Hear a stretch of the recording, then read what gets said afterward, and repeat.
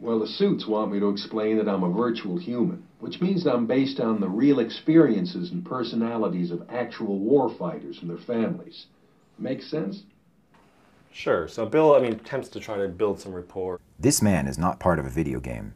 His name is William Ford, and he is an artificial intelligence created to do something extraordinary provide real help to returning warfighters and their families. We have such a significant challenge with the issue of stigma in asking for help in military populations.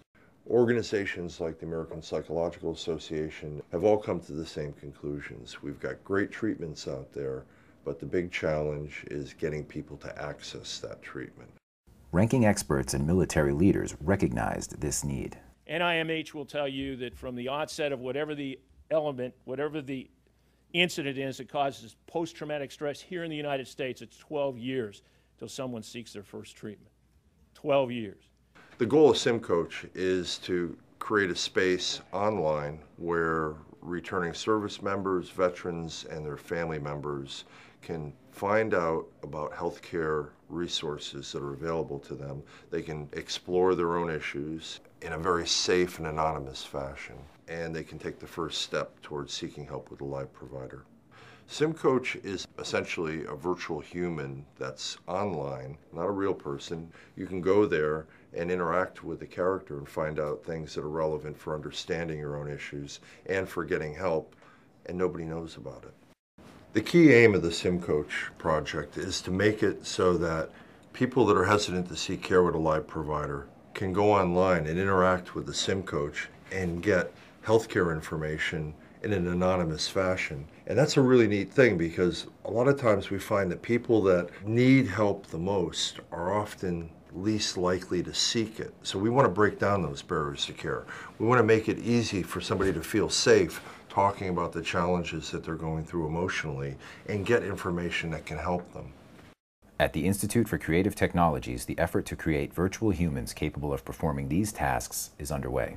The uh, SimCoach online application has, has a number of components. The natural language understanding, the lifelike behavior of the character, and an intuitive interface so that the user knows how to interact with that character and the site's content. We start by coming up with a number of character archetypes uh, that we feel uh, would be the type of person in real life that you would go to to have that conversation. Uh, then we go into defining each of those character archetypes so that they become a, a, real person. Finally, we start getting with our writing team to really fill out the content for each of those characters so that they aren't just an encyclopedia of information, uh, but are actually someone that you can develop rapport with, you can start to trust, and that when they give you the information that they have available, it's something that you believe is, is worth your time following up on. We've currently written more than 5,000 lines of dialogue for a single character. That's just how many lines of dialogue are necessary so that the character can react in a convincing and realistic fashion so that he seems human. You see a lot of chatbots online, and these are typically just a, a, photograph of a character or a graphic image of a character, and you type in text, and the the computer analyzes the question and just matches it to a response. It's just a one-to-one matching.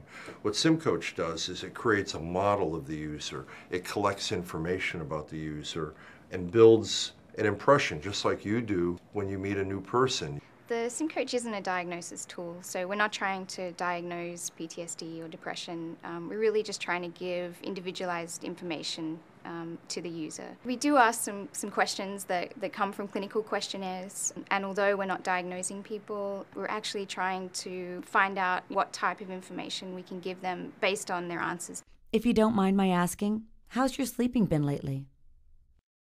Here's a link on the do's and don'ts of good sleep hygiene. We take for granted a lot of times how complex real people are, and so when we try to mimic that, by creating a virtual human, we start to realize the enormity of the challenge. Building a character that can understand what you're saying, can put it within some kind of a logic model, can express with their face as well as their voice and their gesture. I mean, these are big challenges. Building a virtual human capable of doing all of this requires a significant effort in the field of software engineering and artificial intelligence say we're talking about uh, the uh, confidentiality of the site, I might ask, is this private, is this confidential? these all really mean the same thing to the system. So there's a classifier that's in the system that gets trained on all the various instances of text that, that correspond to some concept, some semantic meaning. Once the system has a concept with high confidence, it can reason about what to say next.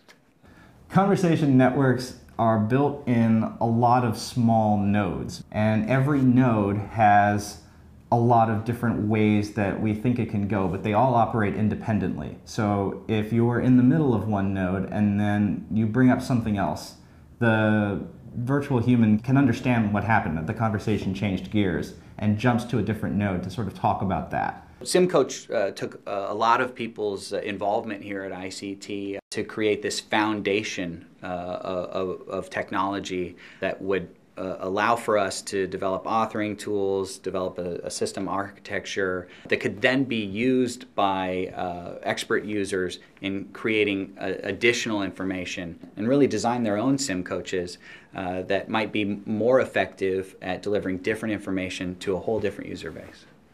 Still in its prototype stage, SimCoach has already given its creators a glimpse into its potential and a roadmap for the future. What we are working towards uh, is removing the keyboard from the conversation and just having you speak to the sim coach and allow for the conversation to be much more natural. Uh, as well as using onboard cameras and having the sim coach detect your movements so that your gestures or your posture or even your facial expressions might add to the responsiveness of the characters. This is only the start of it. While we're developing something to help warfighters, veterans, and their families, everything we build here is going to have relevance to the civilian population. It's going to change how people interact with computers. They're going to be able to interact with a representation of the computer that's more like another human. I think they'll quickly see that the uh, complexity, the humanity of these characters is, is something that uh, is ready for a, a wide variety of uses. We're going to be able to use virtual humans to access information, uh, to get education, even help with our health care. Uh, that's really cool stuff.